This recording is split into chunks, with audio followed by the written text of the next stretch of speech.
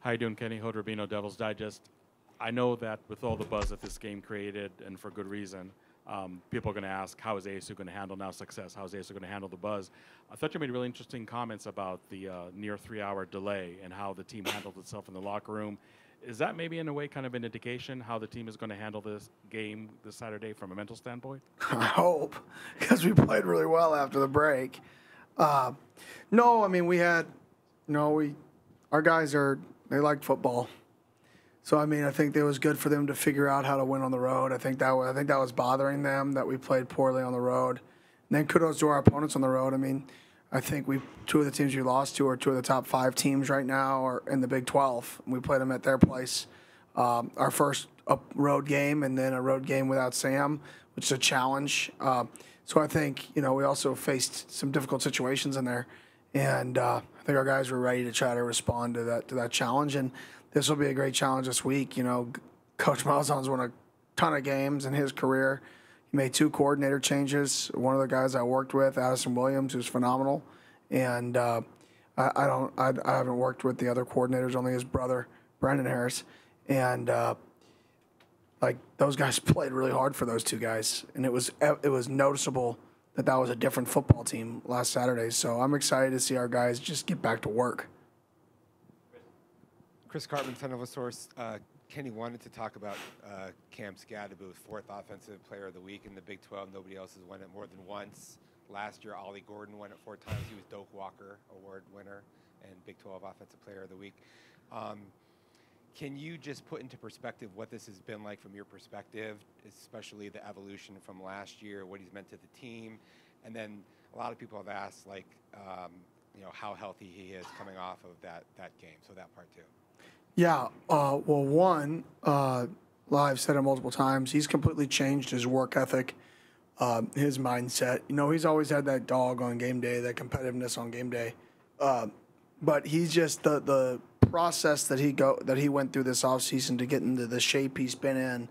Uh, like I said, we've had some fun conversations. We've had some not, not fun conversations, but it's out of respect for each other. And uh, he's grown and he's the best version of himself right now. Uh, you know, he's actually doubtful to questionable for the game this week. Uh, so we'll see how that how that transpires. You know, he's not going to practice this week, and uh, like I said, he's he's doubtful this week. You know, he went out at the end of the game there, um, undisclosed injury, but uh, you know, whether he plays or not plays in the football game, he's going to make an impact on our football team because he's one of the leaders of the team. And can I just follow up? Um, an example like the one that he sets, how much value is that um, for your team? Yeah, I mean, it's when you have guys who just play really hard and physical, uh, I think everybody has to match that. And I think the way he's playing hard, the way he's playing physical, the way he's he's been practicing up to this point, uh, people emulate what your best players, you know, allow to happen on the practice field. And uh, he's just done such a f- phenomenal job setting his own standard for himself uh, to be a way better player than he was last year. Because, to be honest, he's uh, unrecognizable in my eyes from this year to last year. I mean, two or three of those big plays this last game, he may not have scored on uh, last year this version does because he has an extra gear because he put in the work to get his body in the best shape of his life. And, uh, you know, we're going to do whatever is in the best interest of him and, and um, do whatever we can to get him healthy and uh, get him back as soon as possible. Jordan and Jake. Hey, Kenny. Jordan Ham, Sports 360 AZ. Uh, with Cam being doubtful, if he's not able to go, how would you assess how – Kyson was able to run the ball on Saturday and seen a, an expanded role potentially along with the rest of that backfield. Yeah, obviously other guys would have to step up for sure. I thought uh, Sip Kyson, uh, for those of you who don't know, he uh, he did a phenomenal job breaking tackles uh, on the first touchdown run. I mean, he broke a defensive tackle's tackle, then ran through another tackle. Uh, he ran like a bigger back, which is what I was most pleased with in the game. The most touches he's gotten in a game, the most workload he's gotten, and he stayed fresh throughout it. Uh, he's extremely hard on himself, which is, you know, what you want to see. You know, he was the only guy who wasn't celebrating after the game because he let the ball go for a quarter of a second on the one goal line play, and he was just so mad at himself for doing that. And that's what you want your football team to be filled with. You want to be filled with those guys that, yeah, you had success, but man, that one time that it wasn't perfect, it just drives me insane. And he kind of had that to him. I'm like, smile, bud. It's okay. We just won the game. Like, you just had the two touchdowns. And he just can't get that one play out of his mind. But that's why he's where he's at. And uh, I'm excited for him. And obviously, some other guys will have to step up as well, uh, you know, if, if Scott can't go. Kenny Jake Garcia with 12 News back here. Um, one more question on Cam. I saw the uh, the graphics department here already made a Cam for Heisman uh, graphic and tweeted that out. I'm curious if you could make your pitch as to why he's deserving for uh, consideration, and I guess we'll find out this week. But um, just the level of impact that that he has on the team and what he means to this program. Yeah, well, I think one, he- he's been a big part of a huge change in a program. And when you talk about most valuable player, right? Whether I don't know exactly what the prerequisites are for that award, you know, just because it's over time, these awards kind of change to quarterback awards and stuff like that. But if you're talking about a guy who's impactful on a team, this is a guy who's, you know, arguably the most impactful person on a on a team that was three wins last year, who helped transform a team not just on the field with the play, but the mindset, like we talked about earlier, the work ethic, the physicality, the toughness. He transformed an organization, helped transform an organization, and uh, I think that's powerful. I think. Uh, I think it's really hard to put that into a statistical category. I think everybody's going to look at the stats that he puts up, but they don't look at him sprinting down the field on kickoff. They don't look at him sprinting on the screen pass to Melquan Stovall and being the guy in front of Melquan Stovall after he faked zone to the field and being the first guy in front. All of those things add to him being the value to the football team, not just the stats. It's all the other stuff too. And I say you combine the stats with the mindset of our football team, and and he's one of the people that we take the mindset after. And uh, then you combine that with how far this program, how far the program has come, and I think all that should add to his uh, resume. Some would say. That rhyme, That was pretty good. Hey, Coach. Justin Lastertosa, Devil's Digest. The term next man up kind of gets thrown around a lot within sports, but last week it was LT Welch against Utah, it was Caleb McCullough. So, for you and specifically Coach Ward and that defensive unit, what are some of the things that you guys have done to implement that buy in where, hey, your number might not be called right away, but when it is, you got to be ready to compete? Honestly, nothing. Uh, I wish we preached on that. Just be your very best all the time. Whether you're the starter, whether you're the second string, whether you're the third string, every day you wake up, you choose to be miserable, you choose to be happy for the most part, right? You choose to work hard, you choose to be lazy. You choose to get better, you choose to not. Just do all the good things of what I just said over and over again. And if you do that, then when your time comes, you're going to be ready for your opportunity. And if you don't, uh, then you won't. And it's it's pretty simple. It's whether you're the starter or the fourth string guy, just be the very best version of yourself every single day and repeat and repeat and repeat. Hey, Coach. Jake Sloan, Devil's Digest. We saw Javen Robinson come up with an interception, and then the two games prior, Keith Abney, two picks of his own. How does how does those guys performing from sideline to sideline kind of build the trust of the whole defense? Yeah, obviously we've played a little bit more man coverage the last few games uh, than we had in weeks prior. You know, I don't know if that trend's going to continue this week. You know, it just that's been based off who we've played. Uh, so this week a little bit different. Um, you know, changing of a quarterback and what they do offensively. So we don't know if that trend will continue, but those guys have just stepped up and they're really smart guys. I mean, those guys are both of those kids you just mentioned are two of the smartest football savvy players in our football team. And it's amazing how successful people can be when you're smart and you understand splits and you understand routes and you understand when guys lower their pad level, like all the fundamentals that go into the game that you would think like are normal for people to understand. Very few people can actually take that to the field and apply it. You know, you can talk about it in a meeting room, but then being able to apply it when teams playing fast or at tempo is kudos to those guys. And uh, they're both really good players. Glad we have them. Kenny, what um, what are some of the most important lessons you learned from Gus Malzahn in your time with him? Yeah, I think the number one is the leadership council. Uh, I really thought the leadership council when we were at Auburn together, or I guess when I was at Auburn with him, right? He was the head coach. Uh, when I was at Auburn with him, uh, was I really felt like every time he left that leadership council meeting, uh, he had a much better beat on the football team. You know, sometimes when you're a head coach, you can kind of lose lose a beat on your team at times.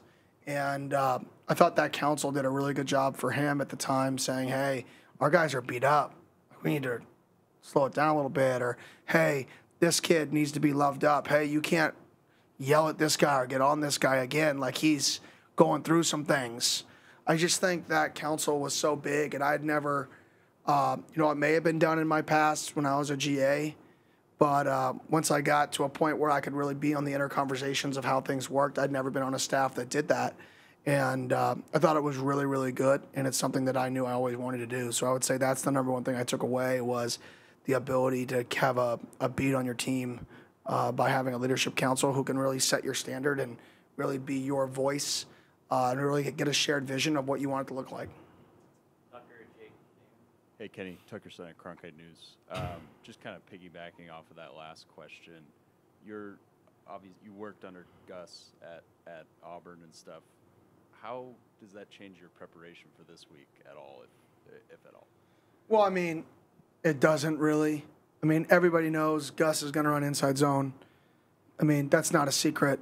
Like that's what they do, and he probably does it better, arguably, than anybody in the country. And uh, and I was around him coaching it, him teaching it. That's what they believe in, and I think that's what's made him successful. Is of course other people are going to come in and give him ideas. Oh, we need to run outside zone. Oh, we need to do this. We need to do that. All these ideas, and it was just awesome listening to him say, "No, this is what we do. We're gonna. I don't care what you do. It's going to work because our guys know where to fit the run."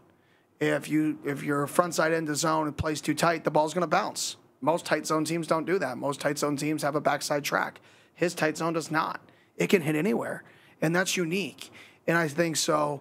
One thing I learned from him is, you know, have an identity for what you want and buy into that. And that's something that he's done his entire career. That's something that I'm trying to create here. It may not be the same identity, but that mindset of people are going to know who we are, I think there's some power to that. And I think that's why he's been so successful um, on offense for so long.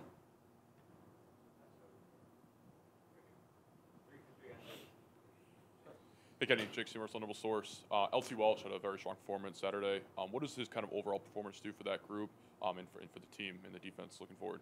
Yeah, LT is one of our energy guys. So anytime one of your energy guys plays really well, you know, and, gets that opportunity and has success, people feed off of it. Uh, so it was great from that perspective. Then it just showed like the work, the work, the work. Like he hasn't complained one time uh, this year, not once. He had some injuries early, came back, lost his spot, been battling back. Our corner's been playing well. He started to get back in the rotation, got his opportunity, played really well. Like what else could you want? Especially for a guy that brings great energy, and uh, he's brought it every single day. That's why I gave him a game ball. If you looked at his Instagram, he posted the game ball. You know, it was, it was cool. It was awesome to see uh, a guy like that really, you know, just embrace his moment and uh, make the best of it. Damon Allred, Arizona Sports. With Parker Lewis hitting all six extra points and the field goal attempt looking like it would be good from much further if it was online, is he going to continue to kick for you? Yes. Kenny, when a uh, team has as many changes in terms of play calling and coordinators and, and everything that goes with it on the other side, how hard is that to now evaluate what they may be doing on Saturday? Very. Very. I mean, especially when they play a game where the game's basically over at halftime, uh, uh, and it's like, okay, well, what were they trying to actually do in the game? You don't know because they only played really a half of football uh, from that perspective. So, uh, very difficult. You're kind of going in blind to any rhythm of a play caller on both sides of the ball. You don't have a rhythm uh, for either of the guys. You hope that they keep some trends the same. You hope that uh, they don't come out and have their own flair, or you have to be ready for their own flair, and you have to dig back into their history and say, okay, if this guy is going to go outside of you know maybe the comfort zone of the last coordinator, the last play caller, uh, what were his go-tos that he would be the first thing he'd put in? So you got to do a little bit of digging into the history. Um, and I alluded to it earlier. You know, uh, Addison Williams, I worked with at Auburn with Gus. He actually worked on the offensive side of the ball. Uh, he was actually me and him worked hand in hand. We were partners in crime over there all the time together. Uh, so he's been in the quarterback room before. He's been in my quarterback room before. We've been in it together. We worked on game plans together. I mean, we were very close. And uh, now he's on the defensive side of the ball, right? And then we have Coach Gibbs, who was on their defensive staff, who's now on the offensive side of the ball. So it's kind of funny that, you know, I kind of took that model from Gus, another thing that you had of having a defensive guy on that offensive side of the ball, which is a trend in, in the NFL now, anyways. But uh, so I'm excited. Addison's a phenomenal football coach. I, I, I firmly believe that. I think he's a head coach in the making over there. Uh, he's phenomenal. His family's awesome. He's a great person. He's a really good coach. He's super intelligent. Like he's gonna have some things for us that we got to be ready for. Doug Franz, Doug Franz Unplugged podcast. Um, go back to your leadership council for a second. Number one, other than they're good leaders, what what made you choose the people that you chose? And uh, and then number two, can you tell us a story about the 2024 season where the leadership council said this is more of the direction and you followed? Uh, yeah, well, first part of the question, I didn't choose anybody. It's 100% uh, player picked. Uh, you know, some people don't like that model because they say, well, you're going to get somebody who's just popular on the council. And uh, my rebuttal is, well, if he's popular, he has a voice. Don't we want that guy believing in the vision? Right? You, you don't just want the teacher's pets being the leaders of your football team because they're only going to, only certain guys are going to respond to those guys. You've got to get a football team and a vote of your team of who they want to lead them and let those guys lead them. I can't pick who's going to lead a team. So uh, not everybody agrees with that, uh, but that's just my my belief. And for us, it's really practices. Like, how do your bodies feel? Coach, we're we're tired. We're not going to lie. All right, we need to slow it down then. Like, we got to take it back. And uh, so I don't know if there's really one specific. Mo- I do know one specific moment, but I'm not going to get into that. It was about a, a different scenario, but where they said, "Give us a chance to, to you know save this player." who maybe did some made some poor decisions, you know, off not off the field, but like in the classroom and showing up on time. And uh, we set a standard and we hold it. And they said, you know what, give us a chance. Like let let us handle this. We got it. No issue since. Uh, so for me, this is their football team. Like we're only going to be as good as they play. We're only going to play as hard as they play. We're only going to be as fundamentally sound as they play, because everybody's looking at them. We're only going to show up early if they show up early so it's like it's not about me it's not about the staff it's about how do we get the this group of people to set a standard high enough and i think this group what's unique is they want it and uh, we have a group of people i think that are setting a high, higher standard uh, than what we've had in the past Uh, Kenny, how much um, will this positive momentum with your record uh, help with uh, roster retention and in recruiting? Yeah, I mean roster retention. I'll be honest, good and bad. The more you win, the more people want your players. The more money they're going to pay them. So we need to fundraise more money. That's just the nature of the beast. The more you lose, the less people want your players. the less they're going to play them. Like that's how it's the nature of the beast. So every time we win, just understand we need to raise more money to be able to retain our players after the season ends. I will say I think our players want to be here.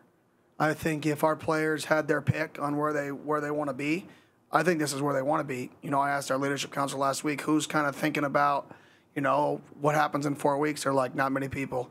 Like we're all about right now, and I think that's what makes this group exciting and awesome, is they want to be here.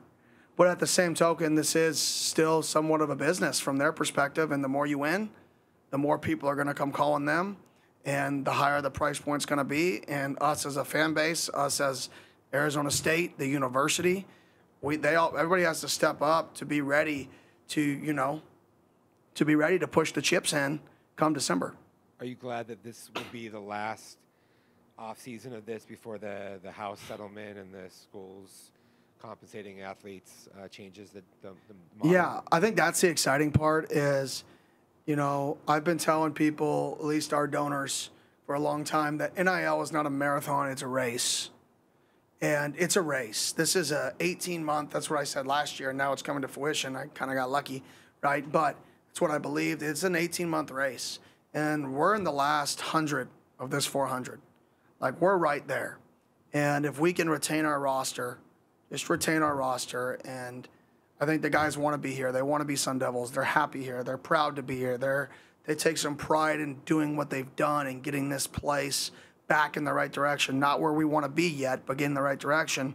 If we, as an alumni, a fan base, an institution, can back that and support that, I think we can retain the roster through when this new court case closes, and then I think we'll be able to, uh, you know, compete with anybody in the country when we get to that point. Uh, but it is a challenge for the next four months, and uh, we got to find a way to get these guys where they should be, in my opinion, fairly what they deserve, and um, and that's really what I'm going to be focused on here on Thursday nights, Wednesday nights, and this off season uh, early is how do we make sure we retain our roster because people want players who win.